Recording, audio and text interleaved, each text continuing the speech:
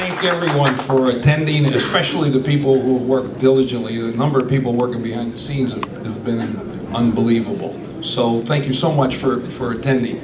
You know, I'm the elder, I'm the elder statesman here.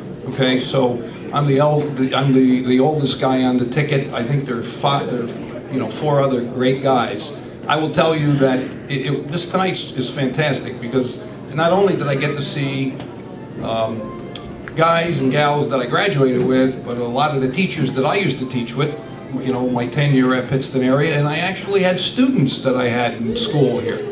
And I will, I will tell you that I've been uh, blessed in this valley. You know, it takes a village to educate someone, and this village educated me. I've had, I've been, I've been blessed with a great family. My wife Carol's back there, and uh, my, my son Charles, and my son Joseph.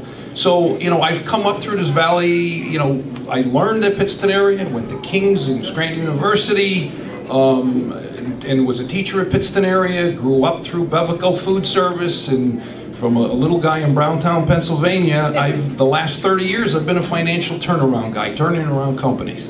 And quite honestly, I've reported to investors for the last 20 years. And I don't see this job any, any different than when I reported to investors, because now I'm going to still report to an investor if you're so kind enough to elect us, because those investors are going to be our, our taxpayers.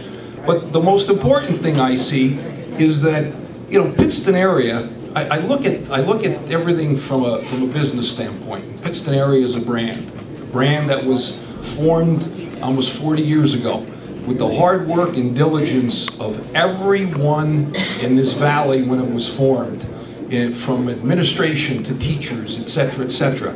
And that, you know, that brand has been tarnished. And there's, there's going to be three things that, that if we earn a right to your vote, we're going to need. And you will have our commitment. One's integrity. I don't think I have to go any further on integrity. I think you'll have the integrity. The other is going to be courage we will have the courage to make tough decisions. And then lastly, the commitment to stay the course. I think everybody, you know, it's like I, I, I, I will tell students and I tell my sons and, and I tell associates in our companies, look, you'll get your say, doesn't always mean you're going to get your way. So with that, I really, really hope that we have the ability to earn a right to your votes, your family votes, your friends' votes, because there's a lot of heavy lifting to do. I think there's been a lot of great work that has been done. Uh, and when you look at a school district, it's no different than a company. Companies the school district is not bricks and mortar. It's people and the passions of those people.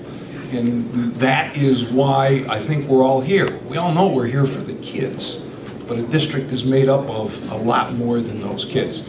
So thank you very much. We appreciate you coming.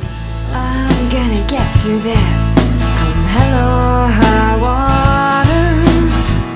I'm gonna get through this if it's the last thing I know. I'm gonna my ground. I won't let them keep me down. Even if you've got to carry me